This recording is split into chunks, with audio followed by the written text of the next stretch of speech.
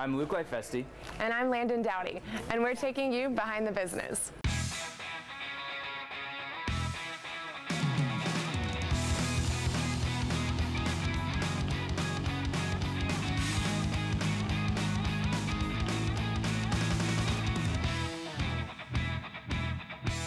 Welcome to Behind the Scenes at the CNBC Makeup Room, where I am with Kayla Tausche, reporter Hello. here.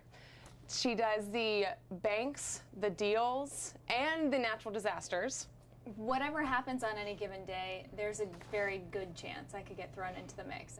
Take me back to, you know, when you were an intern, and um, not that that was that long ago. You are the youngest reporter here. I So I'm still an intern, actually. I just lied to everybody pretty much, and I've gotten away with it so far. But uh, no, my first internship, um, which I guess was in 2006, I was in Belgium, and I took a semester abroad, and I was working at the Brussels Bureau of the Associated Press, and it was quite an eye-opening experience. I hadn't had a journalism job yet uh, in my career. I was a sophomore in college and was working uh, in the bureau. I was going to the European Commission every single day, attending the briefings, speaking French, interviewing people, and then having to write articles in both languages after that.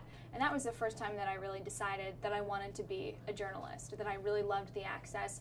I really loved getting to interview the big leaders, the big people who are making the decisions that actually make the economy work and make all the, the moving parts work.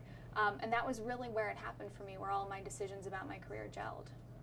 So, what would you tell your 20 year old self now, where you are today? Back to Brussels, what would you tell your 20 year old self? work harder work harder i, I had a great time um, but I, you know, I spent a lot of time asking questions and not just saying yes all the time and doing whatever assignment came up wondering oh is this something that i'll be able to do is this something that i can do i think the less that you doubt yourself and the more opportunities that you take on the more you're able to do the more you learn and the fewer things you'll actually mess up than you probably think you will. I know joining cnbc there was a lot of stuff that got thrown at me in the very beginning. I had no idea what i was doing. I was a print reporter and i came over to the television world. You just have to jump in and swim and say yes and do whatever gets asked of you and you will be amazed at how much you'll learn. Now, I doubt you have one of these, but if you do, what would be your most embarrassing moment on television? The problem isn't that I have one of them, it's that I have many of them. For being a college athlete, I am extremely clumsy. And we have these two sets of stairs that come right down in the middle of our newsroom. And I can't even tell you how many times there's been a live shot going on in the middle of the newsroom and I've just tumbled down the stairs or up the stairs. Actually, oh, last week I tumbled up the stairs and got a pretty nasty bruise. Oh. But you know, you're just right there and the pressure's on.